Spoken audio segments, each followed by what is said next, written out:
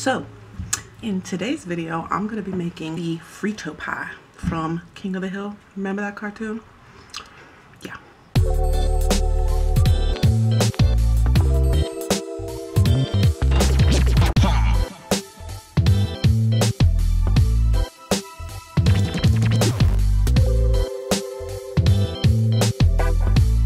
Alright, so the first thing you want to do is you want to cook the turkey. Throw that in your, you know, whatever skillet you have and cook the turkey until it's brown. Get my spoon.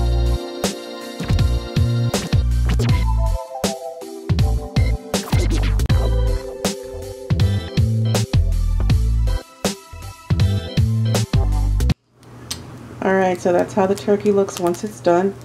Next thing I want to do is stir in the tomato sauce, the diced tomatoes, the tomato juice, and the chili seasoning mix.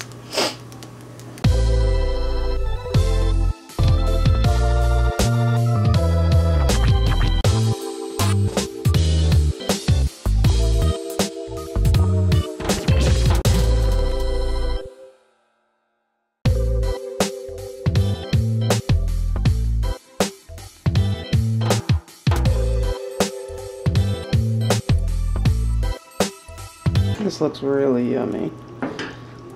Mm.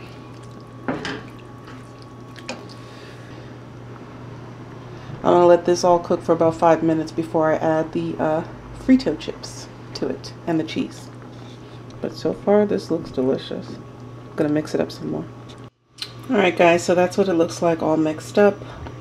I'm gonna let this simmer for about five minutes. Alright guys, so I'm about to put everything together.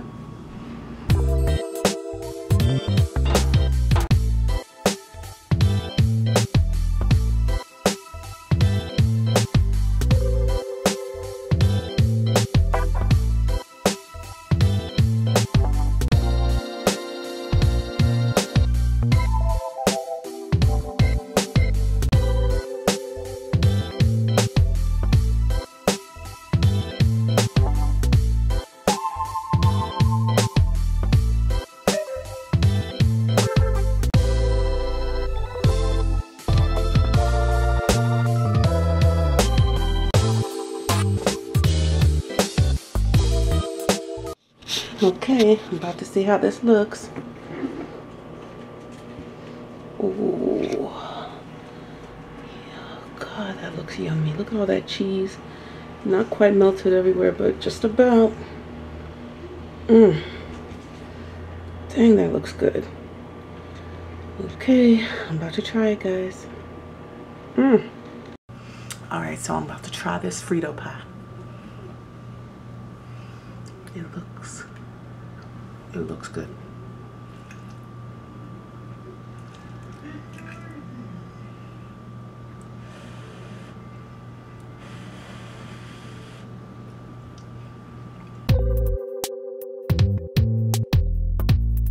Mmm.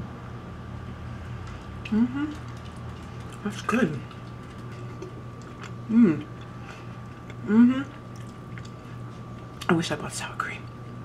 Sour cream on top would have made it even better. It's a little bit spicy, but not too much. It's pretty good. This is definitely something that would be really good to make for like a like a party if you're gonna have a gathering at your house or like your man's about to watch the football game. You can make this for him. It's a nice little snack. Mm-hmm. King of the Hill. Frito pie. Thumbs up. Mm. Mm-hmm.